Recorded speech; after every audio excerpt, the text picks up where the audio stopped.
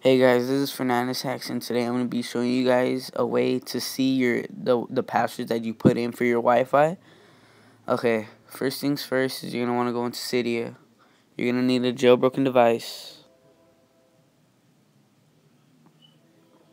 So once that loads up, we'll start.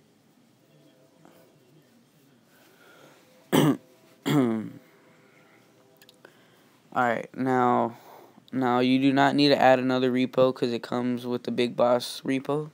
So what you want to search is Wi-Fi passwords like that and then you're going to click the first one from the Big Boss repo. Okay. Now you're going to install that. Install Alright, once it resprings and displays it, it's going to look something like this, like the, the app that I'm holding right here that one right there. So you're going to click into that. And now it's going to show all the Wi-Fi passwords that you have put in. It's very simple, guys. Um, you do not need to add nothing, no sources. Thanks for watching, guys, and subscribe.